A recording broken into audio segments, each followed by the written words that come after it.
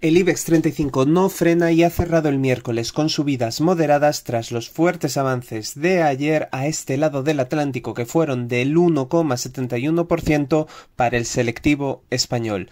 Después de las subidas de este martes, el IBEX acumula una revalorización del 8,5% en las últimas tres semanas.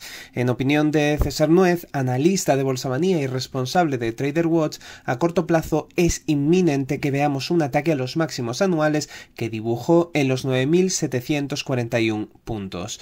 Esto en un día en el que sigue siendo noticia la moderación del IPC de Estados Unidos que alimenta un escenario más laxo por parte de la Reserva Federal.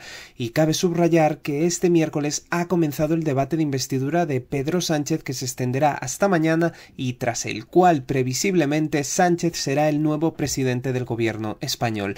En el ámbito empresarial, Siemens Energy ha comunicado pérdidas de 4.588 millones en su año fiscal por los problemas relacionados con Siemens Gamesa. Ayer se supo que el gobierno alemán y la banca germana darán garantías por 15.000 millones de euros a la compañía. En España, la protagonista ha sido Seur, que se ha disparado después de que su presidenta haya lanzado una OPA por el 15% a 1,83 euros.